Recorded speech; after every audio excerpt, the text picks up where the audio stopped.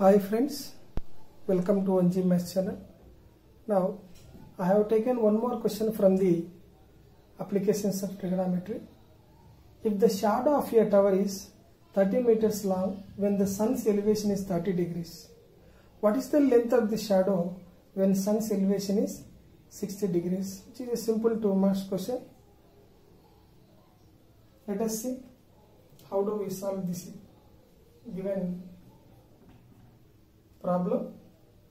See here, look at the figure I have drawn which is apted to the given data. AB is the height of the tower. I have taken as some x meters and BC is the shadow of the tower when the sun's elevation is 30 degrees and BD is the shadow of the tower when the sun's elevation is 60 degrees and BC is given as 30 meters. Afterwards, we can solve this uh, problem by taking two right triangles which you can observe ABD and ABC. Let us uh, write what are given. AB is equal to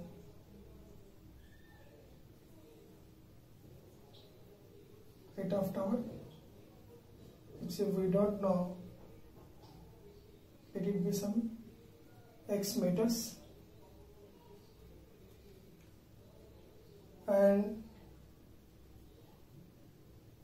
PC bar BD bar are the shadows of tower at uh, 30 degrees and 60 degrees respectively. BC is given as 30 meters.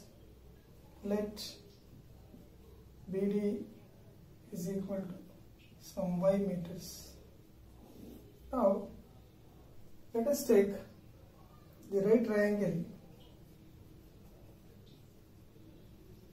In right triangle ABC, tan 30 is equal to AB by BC that is tan 30 1 by root 3 is equal to AB means x BC means 30 so which implies x is equal to 30 by root 3 in other words x is equal to 10 root 3 10 root 3 meters. Now, one more right triangle in right triangle ABD tan 60 is equal to opposite side AB by adjacent side BD. Tan 60 means root 3.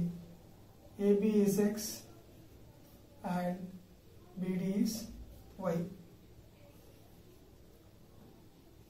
Root 3 times y is equal to x. Therefore, y is equal to x by root 3. We have what is x value? 10 root 3. 10 root 3 by root 3. Root 3 root 3 gets cancelled. So y is equal to 10 meters. So when the sun's elevation changes from 30 to 60, the shadow is also decreases from 10 root 3 to sorry 30 to 10. So this is the required quantity. Therefore, length of the shadow of tower at 60 degrees elevation is equal to 10 meters.